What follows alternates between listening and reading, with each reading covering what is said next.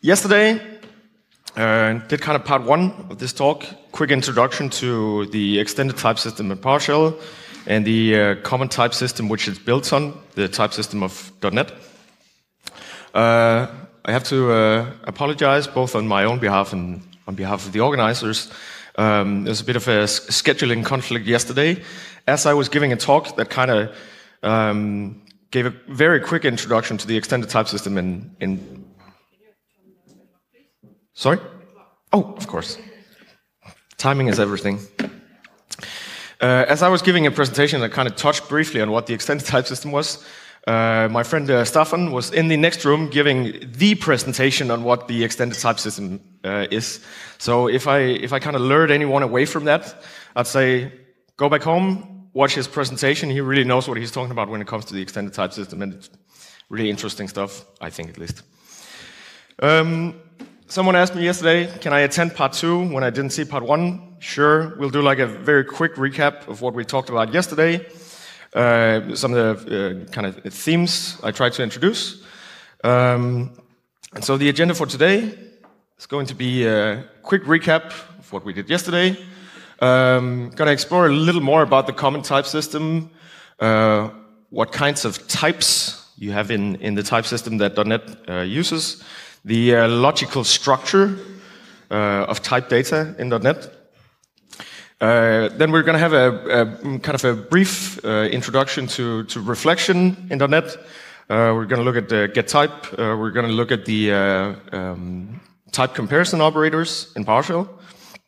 and then finally, at the end, we're going to look at what kind of led me to give this talk here. Um, um, looking at how we can kind of emit new types, define new types, define new classes at runtime. Both what we have natively in PowerShell and what we can kind of hack our way into using the underlying um, .NET framework.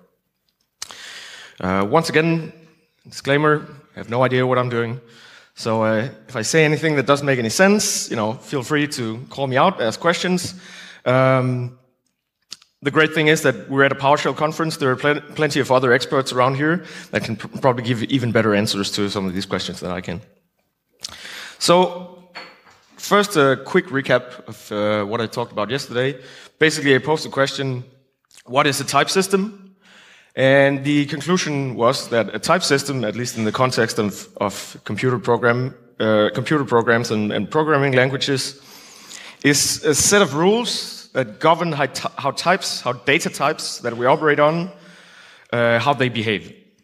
Uh, the, the primary aim of trying to define um, type systems in, in programming languages and programming environments is primarily to reduce runtime errors. We want to make sure that when someone sits down, writes some code, they try to compile it into something that the computer can understand, they get a warning already then, rather than when they try to run their program and all of their computers catch on fire, because, you know, we'd rather not want that. Uh, implementing strict type systems has some, some kind of side effects and benefits um, uh, related to memory optimization, a bunch of other, other stuff. Um, um, we can get some nicer performance characteristics uh, out of our programs, you know, if we're using it for the for the right kind of thing. Um, and in a bunch of high-level languages, we get uh, we get an aspect called uh, reflection, which we're going to dive into a little bit. Uh, a type system also usually in, includes kind of a, a core set of types, a minimum set of types that a language needs to implement to kind of function. Uh, we're going to look at uh, a little bit of um, at what that looks like in, in, in .NET and, and the languages compiled against .NET. And type systems also usually include extensible types. That is, whoever invented the programming languages has had a bunch of data types in mind that you can operate on, like kind of out of the box. But we can also kind of extend the type system. We can define our, our own type, uh, type definitions. Um, with that in mind, PowerShell has something called the extended type system that builds upon .NET's built-in type system. Uh, this is kind of a mock-up diagram of, of what goes into the, uh, the PS object. Uh, this is a type that basically wraps everything in the PowerShell console. Uh, again, if you want to know more about this, uh, I'm sure Staffan has a way better explanation in his talk, so go back and watch that on YouTube once you get home. Uh, but basically, the, the idea is that we should be able to take any, any object of any type from a number of subsystems, not just .NET, but also um, um, a, a COM service on your machine, uh, an XML file, uh, all these nice, nice things that we can kind of uh, work with using native syntax in, in .NET. Um, this is all enabled by this PS object layer model and the extended type system. Um, we did a brief demo. This is kind of an unnecessary slide, but I really love this picture. Um, uh, looked at the dollar profile variable, uh, why it behaves the way it does, why it looks like it is a string, but it isn't actually a string. Again, courtesy of the extended type system in PowerShell. Now, the underlying type system, the one we get from .NET, the, the type system that isn't specific to PowerShell, basically the design philosophy uh, was heavily borrowed from what uh, Java was trying to do in the JVM uh, when this was first invented, uh, almost 20 years ago. But the idea is basically that you should be able to code in any language, right? You should be able to write your code, um, uh, uh, define your functions, define your classes in any language that compiles against .NET, and then reuse that code from any other language that compiles against .NET. And so the example I showed yesterday is that we could define a type, we could write some code in C, uh, in F sharp, which is not C sharp, it's another language, right? We could reuse that in C sharp, another .NET language, and we could in turn reuse all of this code in PowerShell, even though it was written in a bunch of different languages, which is kind of nifty. So if, if you have a developer on your team who says, I don't really like C sharp, or I don't want to, you know, code in your PowerShell weird scripting language, you know, he can use F sharp or VB.NET, and then, you know, run that um, in PowerShell. It's kind of nice. Gives a bunch of flexibility. Um, the, the kind of conceptual model of this, again, shown here, uh, very dated slide. It says J sharp. I'm pretty sure that uh, that's been deprecated for a long time.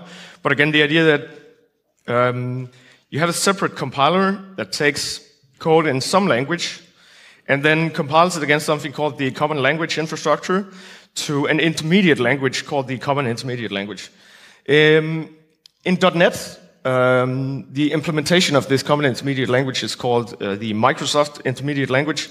So whenever in uh, reversing tools or uh, reflection tools or debuggers or editors, you see, you see a reference to MSIL, MSIL. Uh, this is this intermediate language that everything kind of compiles down to, and then we can kind of interact with it, regardless of what it was originally written in. And then it can kind of all run on the common language, language runtime, which is kind of the, the JVM of .NET. And so this is kind of where it all comes together, and you know we can interoperate with um, code, yeah, written from a bunch of, of different languages. So back to .NET .NET type system. Um,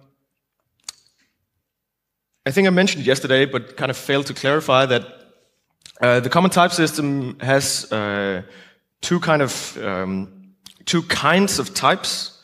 Um, we have something called value types. Uh, these are sometimes um, uh, broken into primitive types and composite types.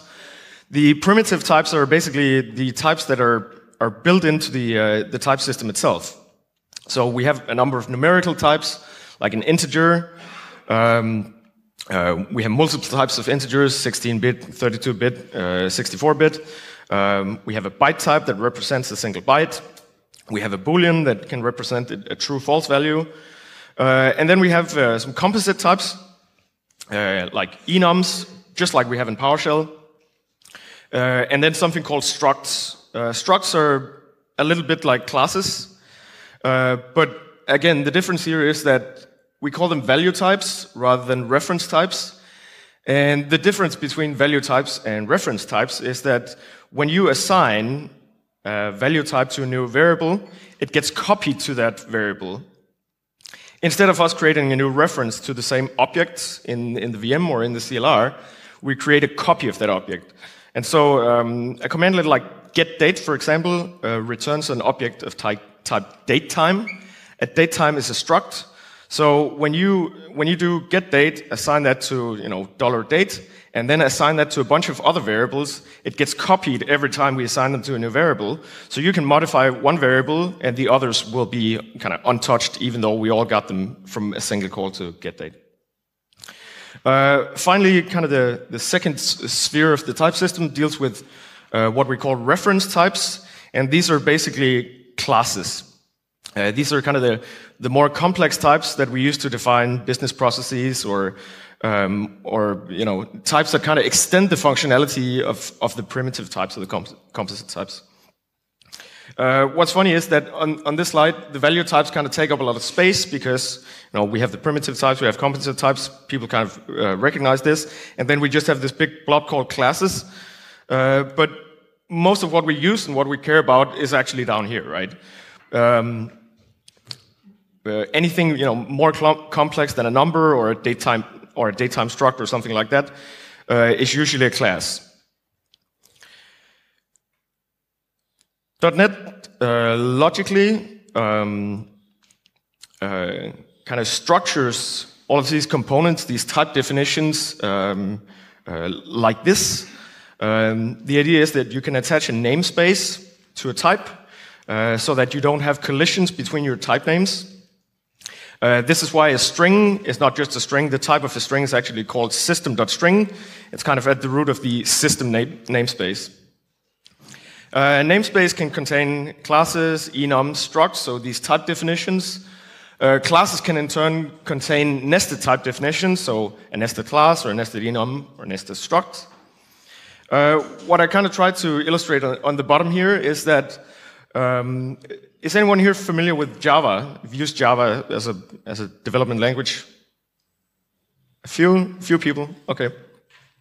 So in Java, when you define a, um, uh, when you define a class in Java, uh, or a package, which is kind of the equivalent to a namespace, uh, Java's pretty strict about how you group your files on the file system, and there's kind of a one-to-one -one relationship between a class and kind of what it compiles to. Uh, .NET doesn't really care about that you can compile a bunch of classes in the same namespace into multiple files on disk, right? So when you have a DLL file that's compiled from code, um, and the DLL file is called something like you know system.namespace, that does not mean that that DLL contains that all the classes in that namespace. You can split that over over multiple files. So, with that in mind, um, I want to not talk too much about reflection but I want to try to interact with it.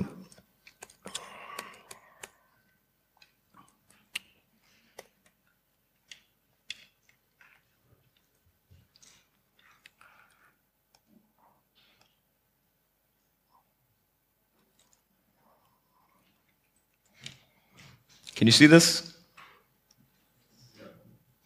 It's okay? All right.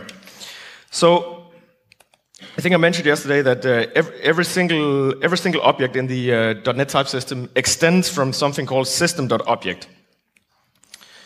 Uh, this is kind of at, at, the, at the root of the, uh, of the type hierarchy.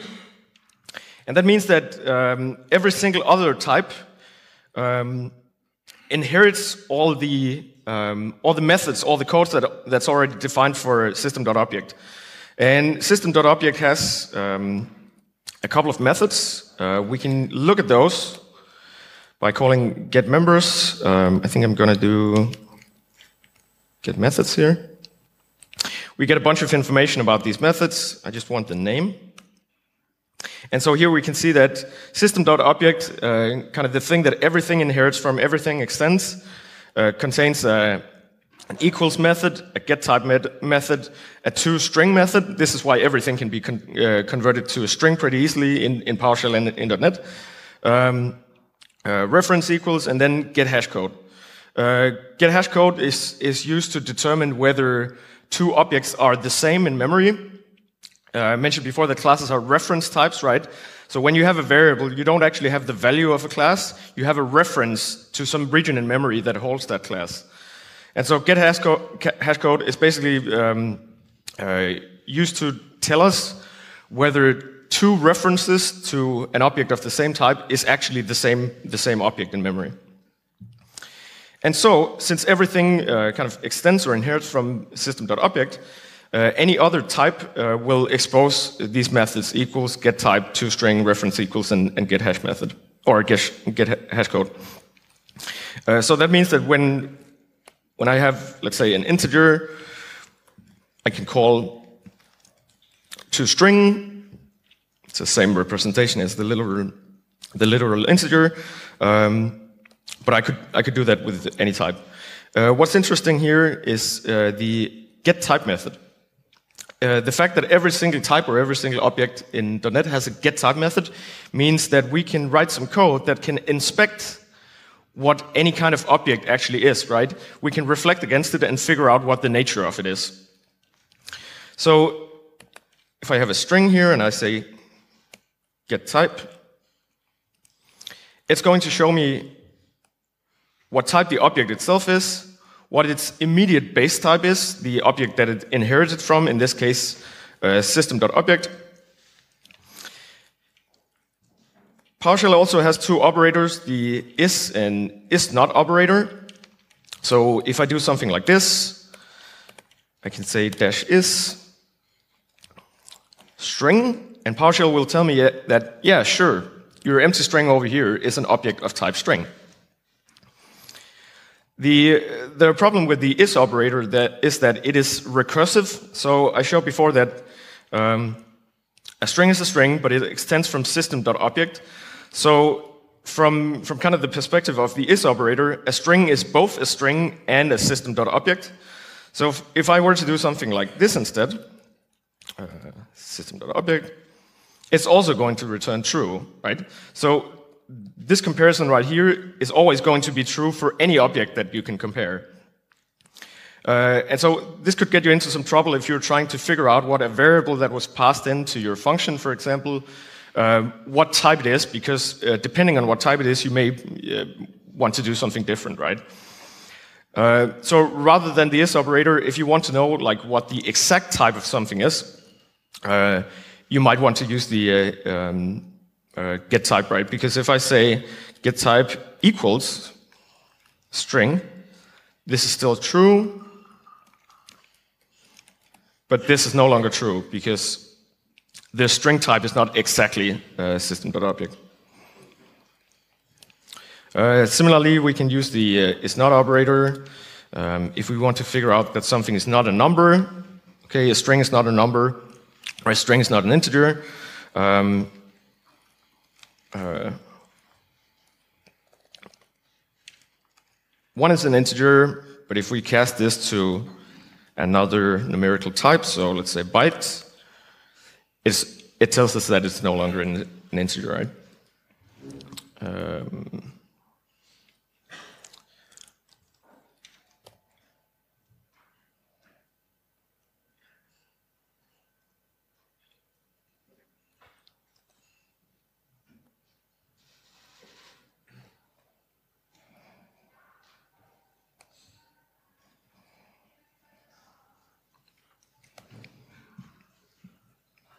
So now I want to get to kind of the, the real meat of this talk. Um, emitting types at runtime. What, you know, okay, what does that even mean? Um,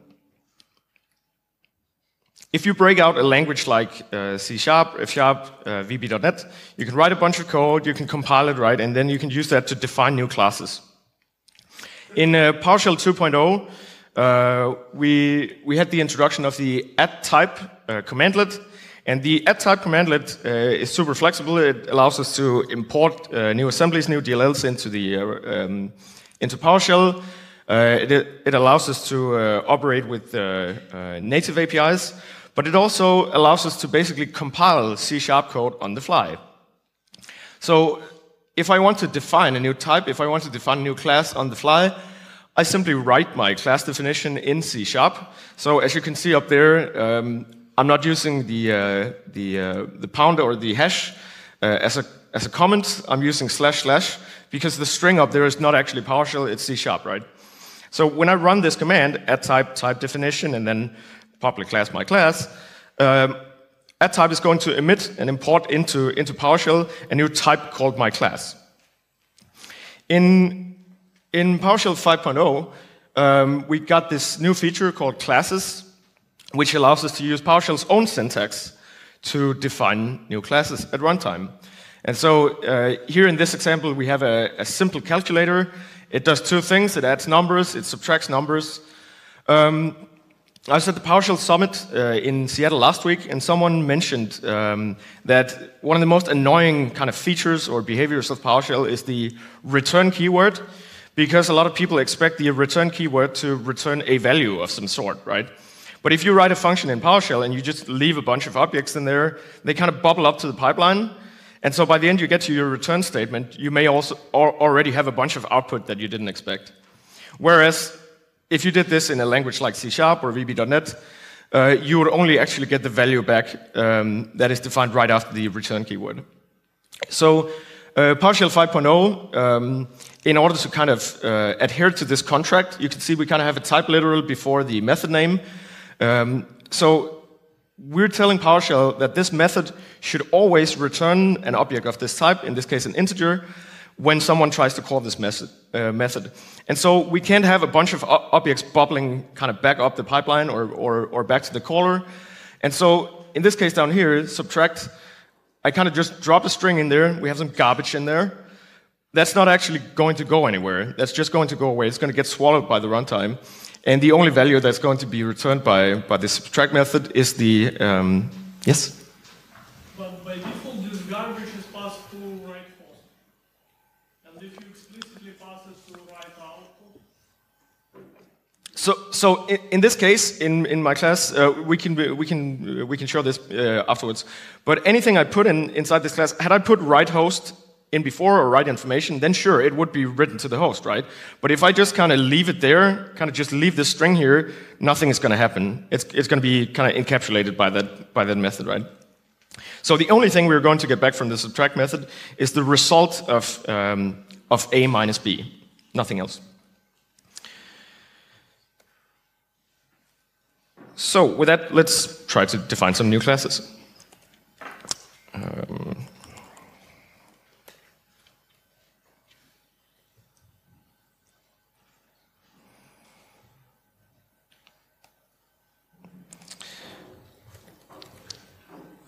Probably going to make this a little bigger.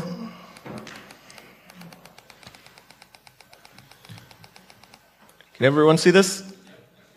Good. All right. So here again, this is very similar to the example I, I showed in the slide, right? Uh, we're using add type dash type definition, and then I just have a big here string here that defines uh, a class in C sharp. Uh, the class has a name. Uh, it has a single method called hi there, it takes a parameter um, that's a string, and then it returns me a string. And so down here, um, just going to say hello. So if I run this code, the pass-through parameter simply uh, returns the new type uh, to this uh, A-class um, variable. if I do F8, uh, now I should be able to say an object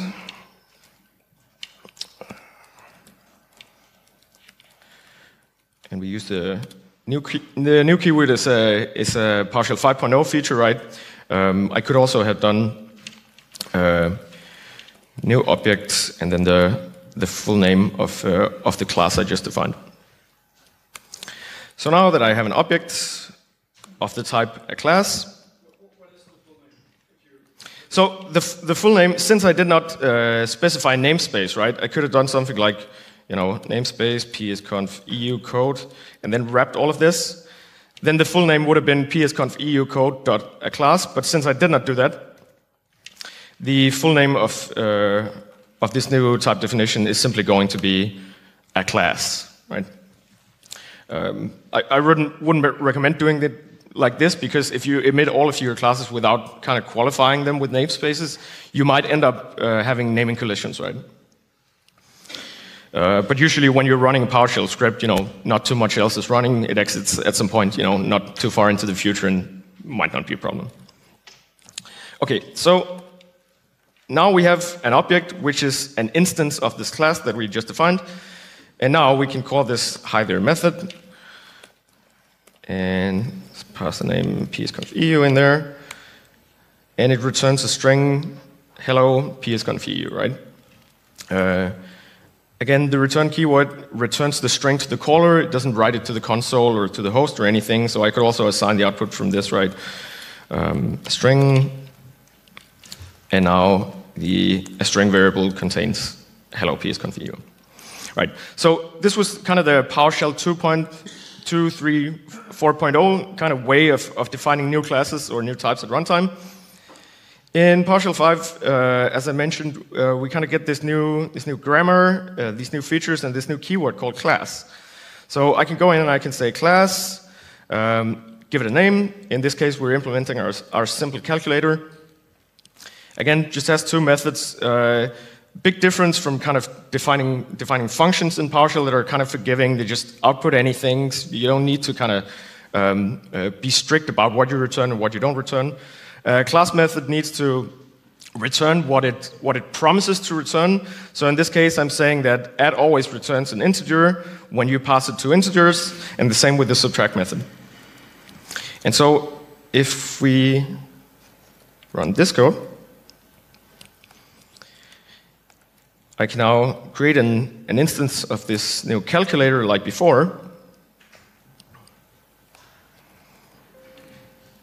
And now I can do calc, add two numbers, um, two and three, and we get the correct result five, right? And again, because it's returned to me, it's not actually written to the screen.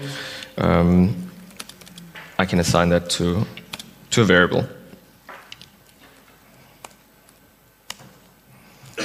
And so what I just did there, right, I assigned my new object to a variable, and then I just used the dot operator to say add. This is kind of the normal way of, of invoking code, right? It calls my method. But using the power of reflection that we kind of delved into a little bit before, uh, we can also do something a, a little more funky. Uh, we can say, I'm going to give you an instance of a calculator and I'm going to give you the name of the method that I want to call. And then, again, using reflection, um, using a type literal, and then uh, uh, calling get member, we can kind of retrieve all the members of that type. And now I can basically pass in anything, right? Because the, the get member method just takes a name, the name of the member that I'm interested in, and member in this case could be a method or a property or an event. And now I have a reference to that method for that type. And then I can kind of inject the object on which I want to invoke this method, and then a list of arguments. And so now if I define this function, invoke calculation, say in invoke calculation, um, I can pass in my calculator, and I can say that the operation I wanted to run is add, and the arguments are 2 and 3. And then these two operations, getting a reference to that method for that type, and then invoking it against the object that I passed in the calculator, right, uh, does the exact same thing as me calling dot add. Um, and now you might ask yourself, you know, why is this interesting, right? Why would I do that? Um, Let's see here.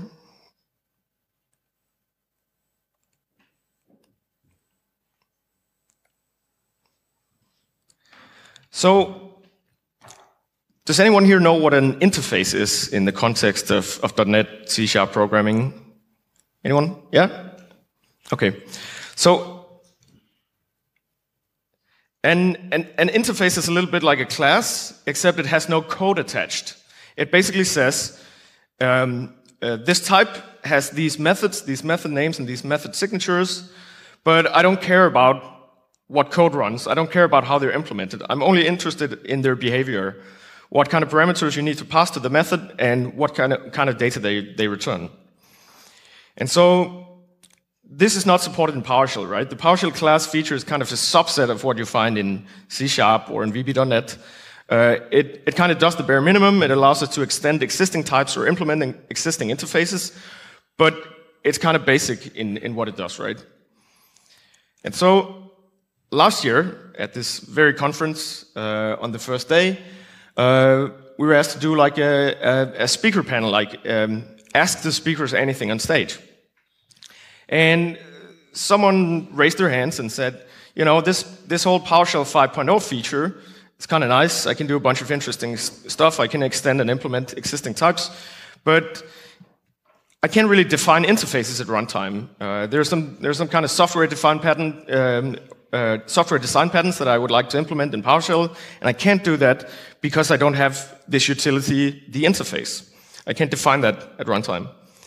And so on stage we had Bruce Payette, and Bruce said, you know, kind of sounds like C sharp, and you know, C sharp already exists, so probably never.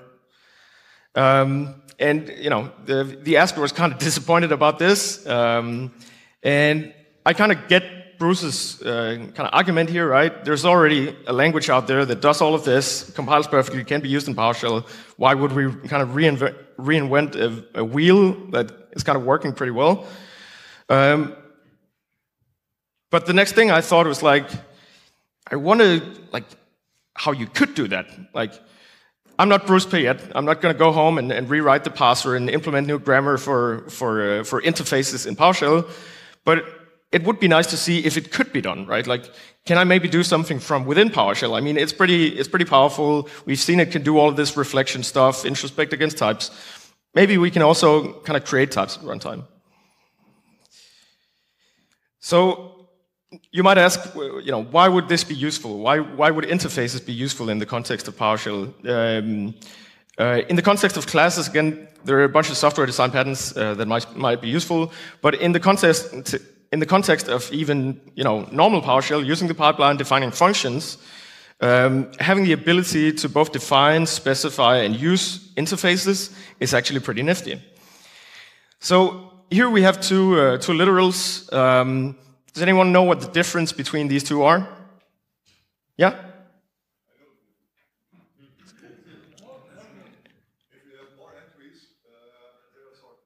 Right, okay, so in the second example, if we add more entries, they're going to be in sorted order, right? They're going to retain the order which we added them to.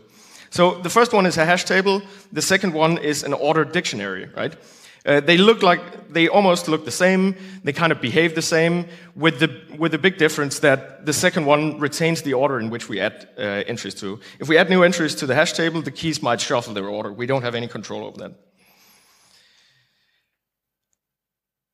And so, let's say that you're writing a function that needs to take a hash table and operate on, on some of the key value pairs in that hash table. But once you're done operating on the values, you want to return that hash table to the user again in a modified form, right? I might want to say, I would like my user to be able to pass in an ordered dictionary. I mean, it's almost the same, right? It, it behaves the same. I can operate it on the same. I can iterate over the keys. I don't care if it's a hash table or an ordered dictionary, but my user might care, right? They might want to, as you say, retain the sorted order of the keys. So if I start implementing functions that take a hash table as an input, what's going to happen is that people pass an ordered dictionary. When I return that ordered dictionary to them, they're going to find that their keys are all shuffled, right? They're, they're in the wrong order. There's a reason for this. PowerShell employs uh, aggressive conversion on parameter binding. I think this was mentioned uh, yesterday as well, and Staffan is, is, sure to mention it in, in his uh, ETS talk. When you pass an argument to a parameter in, in, uh, in PowerShell, and the parameter is not of the exact same type as the argument that you passed in, PowerShell is going to try a bunch of different things to kind of coerce your argument into being what it thinks it should be. And this is why the pipeline works so well, right? You can basically pipe anything to anything, and it, it, it kind of works either binding by name or by type. Um, and so, so what's going to happen is that it works just fine. You can pass your ordered dictionary uh, to, uh, to the function, but it's no longer an ordered dictionary, right? So then you might jump down the rabbit hole of saying, okay, maybe, maybe I accept both hash tables and ordered dictionaries. I split them into two different parameter sets. Uh, and then in line, I tried to figure out uh, whether I was passed a, a, hash table or an ordered dictionary, and then based on that, I, I do whatever I need. Uh, there are two problems with this. First of all, this is getting pretty messy pretty fast, right? this was kind of simple and nice. This is not really simple anymore, and we're just like talking about taking a single parameter argument, right? The second problem with this is that it doesn't even work because when the default parameter set is uh, the one that takes a hash table and we pass in an ordered dictionary, again, because PowerShell is trying to be also helpful, it says, oh, I know exactly how to take your ordered dictionary and turn it into a hash table, so you don't even need to worry about it. So now the user specifically needs to say, it's an ordered dictionary that I'm passing in, and the pipeline doesn't work anymore, so this is kind of annoying, right? So how might you solve this? Well, it turns out that both the ordered dictionary and the hash table, all of this functionality that they have in common, the reason that they look so much alike, is that they have an interface in common. They have an interface that specifies that at, uh, that's called iDictionary, and iDictionary uh, says that a, a, dictionary should always have a set of keys, an array of keys. It should have an array of values. It should allow you to index uh, into it using uh, whatever the key is, and, and a bunch of other methods uh, and properties. And so if in my parameter block, I just specify that I want an, an input object of type iDictionary, you can now pass a hash table to it, an ordered dictionary to it, a key value pair, uh, any type of dictionary basically, and I'm not going to try, or PowerShell is not going to try to coerce it into another type. It's not going to try to convert it to anything, because the type of a hash table and the type of an ordered dictionary already satisfies my parameter type requirement. They are already iDictionaries. Uh, so again, um, interfaces can be kind of useful, not even in, uh, in the course of, of class or type development in PowerShell, but even just in you know, making the, the pipeline work nicely without you know, breaking all of your users' data. So beyond type, uh, beyond add type and beyond classes, uh, we actually have a bunch of other options for compiling code or from generating code at runtime uh, inline. Most of the techniques that I'm going to, kind of show you in a second are adopted from uh, what we might call the bad guys. Um, I work in information security, and over the last couple of years, it's kind of dying dying down now, uh, but it was very common for a kind of PowerShell to be used as an attack vector because it's very powerful, right? You can kind of hook into anything in Windows. So you drop a malware dropper on, on a box, and then you run a bunch of PowerShell script, and you can do all, all sorts of things. And so bad guys love in-memory compilation, right? This idea that you can uh, you can just kind of uh, pass a string to a PowerShell script. It compiles some code for you that does some nefarious stuff, some some whatever they need to do. Um, uh, without leaving any traces on disk. Because when you, when you call add type, what add type does is it takes your string, it writes it to a file, it calls out to a compiler against that file, and so you have all these remnants on the, on the disk of the machine. So if someone like me comes along to do you know, forensic investigation on this system, I'm going to see, ah, there's someone down here who tried to compile a bunch of code, and I can probably kind of stop them in their tracks. So in-memory compilations, hackers love this, uh, but you may find that you'll love it too, because it's actually kind of nice. So there's um, there's a there's an API in uh, .NET called uh, system.reflection.emit, um, and this API uh, we can use uh, to emit new types at runtime. Uh, this API does not emit C sharp or F sharp or VB.NET like readable code. It emits this MSIL, this intermediate language that I was talking about, that kind of the cross compilation language that uh, enables us to use all of these high-level languages.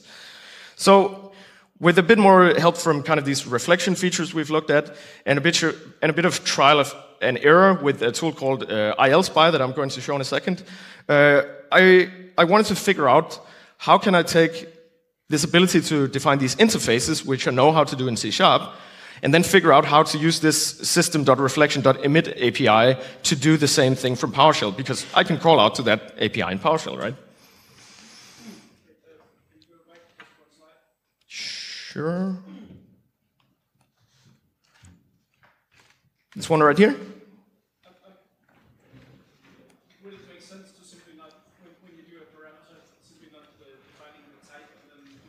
get type in your code? You can do that, right? But as I was showing before, in this case where you have, you have two objects that are of types so similar that PowerShell will say, oh, I'll just convert one to the other, you may already have lost a bunch of information during parameter binding, so that once you start operating on it in your code, you're not actually getting the truth right. Like PowerShell has been too helpful. So when you do get type, you'll always get a hash type because, you know, the param block told PowerShell that it should try to convert everything to a, to a hash type, right? Does that make sense? Yeah.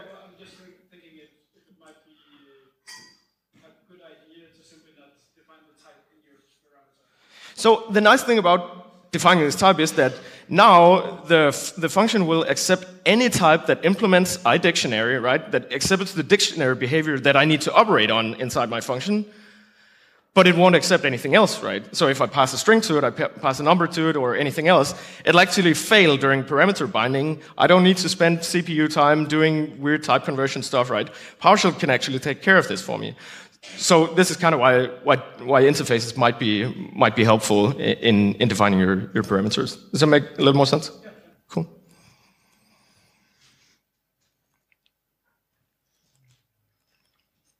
So, just going to zoom out a little bit here and duplicate my screen again.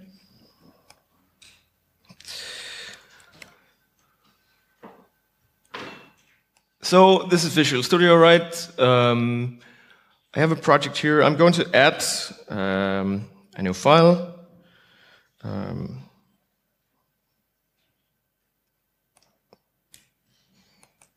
a new interface, and I'm going to call it interface uh, test interface. And then I can specify um, a, a method, right? A method that returns a string, it's called method. Um, it takes an argument of an integer. Um,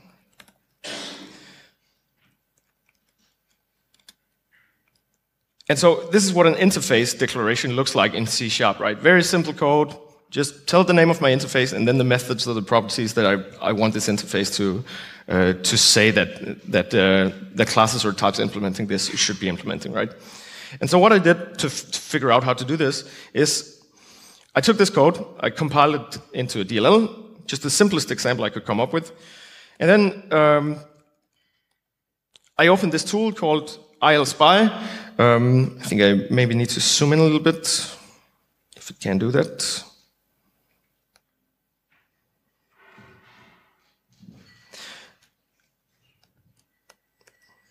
It doesn't seem to be able to do that.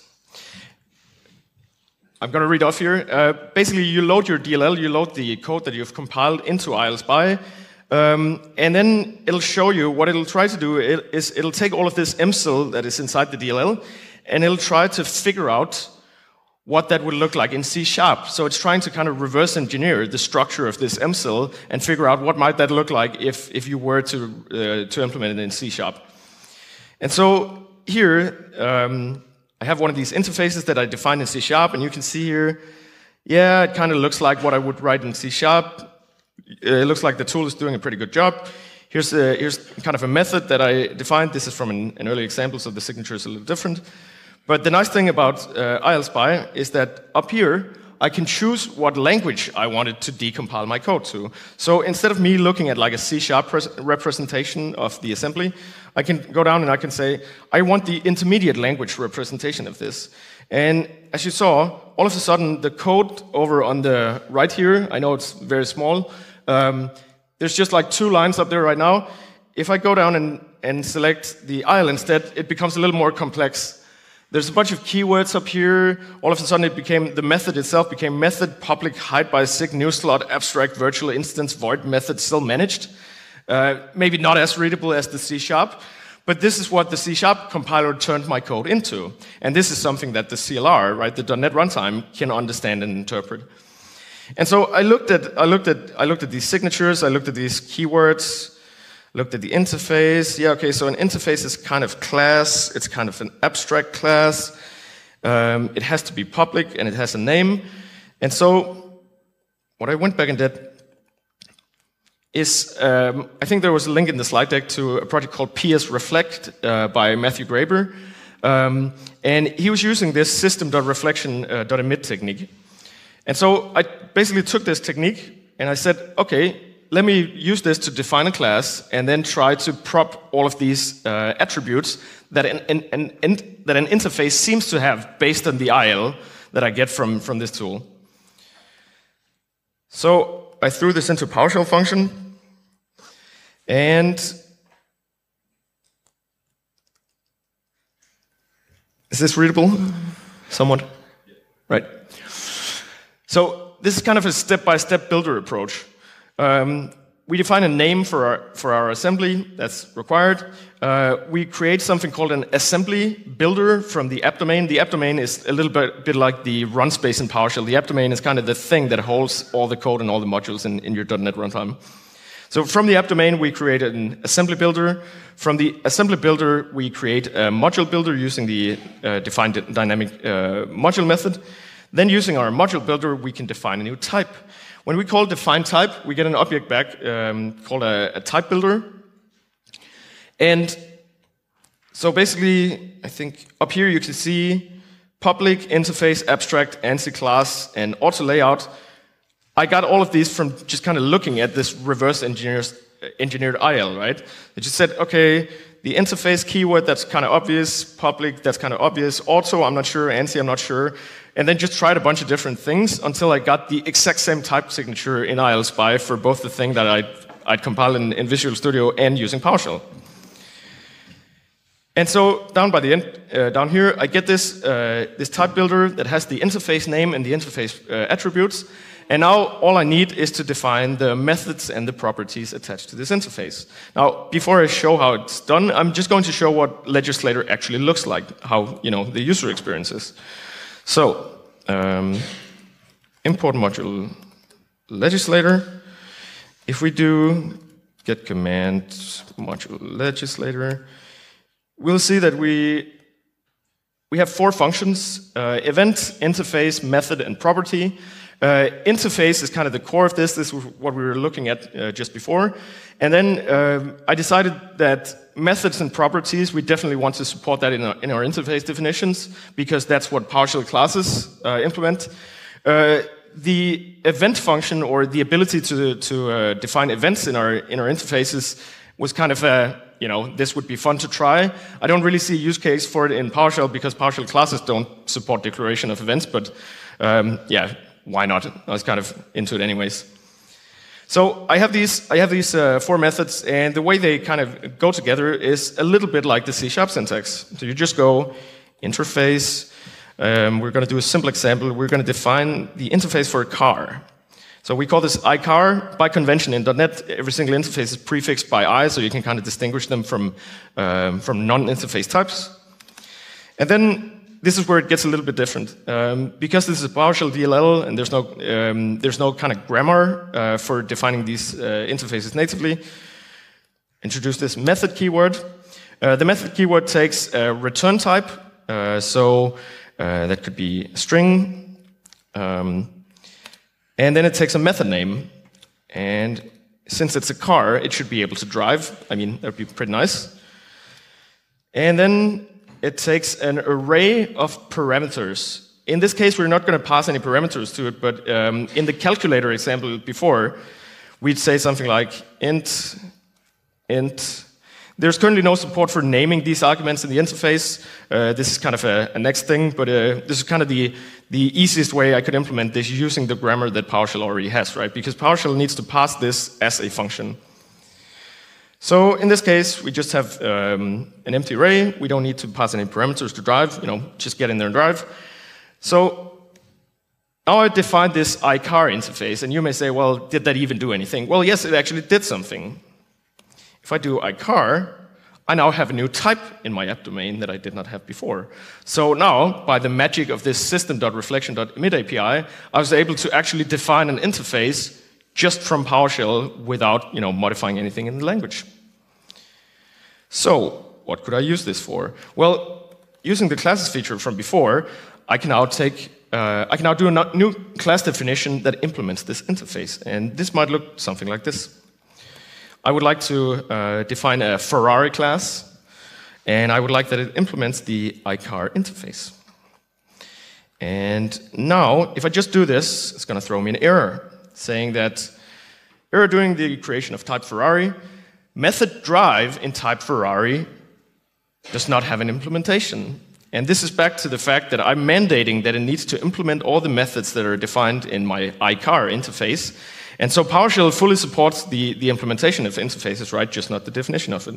So if we go back and we say, um, what's the return type string, drive, and then supply a method body to it, and we do something like return. That's what a Ferrari sounds like, right? And so now I can, you know, I can create an instance of my Ferrari. Um, and rum, perfect. All right, but you know, maybe not everyone can afford a Ferrari, so you know, let's uh, let's implement a Nissan as well. Nissans don't say rum, so do something like this. Now, since both my Ferrari and my Nissan implement the iCar interface, I can now start devising functions or other classes that take an iCar as its parameter, right? So now if I do function drive car, I know it's not an, appro an approved verb, but this will do for now. In my param block, I say that I take an iCar as the only argument. And then down here, and what you'll see now, because I've, I've declared that the, the car parameter is of type iCar, PowerShell gives me tab completion, because PowerShell can, again, use reflection to introspect that iCar has a drive interface, so anything that is an iCar must necessarily have a drive method. So now I can do car drive, and when I do drive car, and pass my Nissan to it. Um, oh, I didn't create it. Nissan.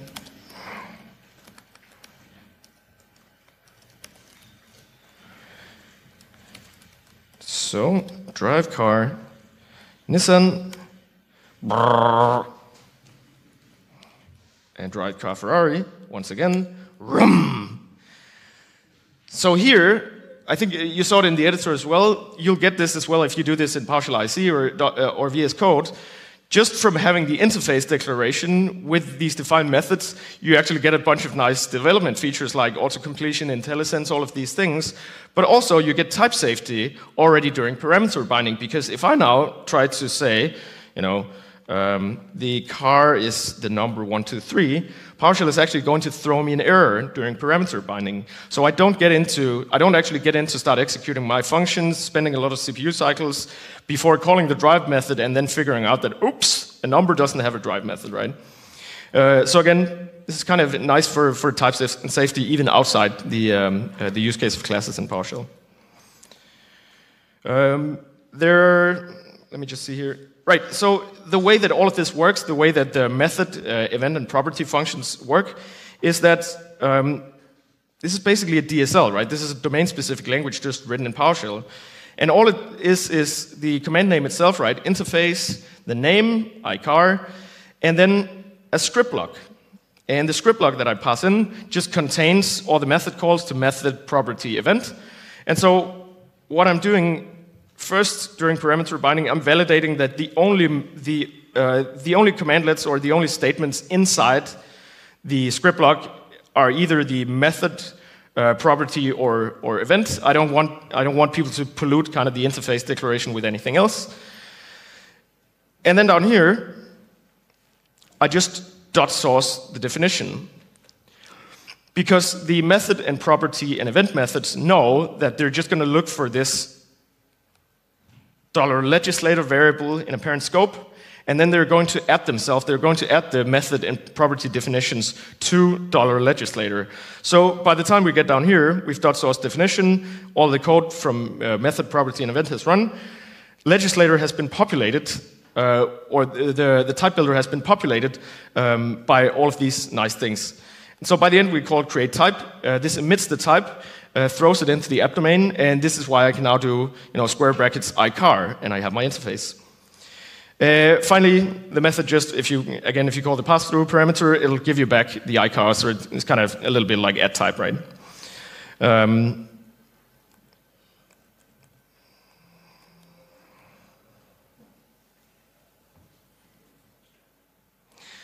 so, in summary, mentioned this yesterday as well. PowerShell, if we look at the type system, if, if we kind of look at some of the, the built-in functionality, uh, PowerShell in some ways are .NET++, right? It gives you a bunch of stuff on top of all the niceties that we already get from .NET, making it super, super easy to use. Uh, .NET already has a pretty powerful type system, um, and again, with these APIs, like the system.reflection.emit API has been there since .NET 1.1. So uh, this idea of kind of strong support for reflection also gives us a lot of flexibility in even extending kind of this powerful type system further. Um, in PowerShell, as, as, you probably know already, most of this magic is completely transparent to you, but I hope to have maybe like opened the lid a little bit to what might be going on under the hoods. Um, yeah, reflection is powerful, and anything is possible, sort of. Next up, uh, if you found this, this topic or these themes interesting, you don't have to have found me interesting.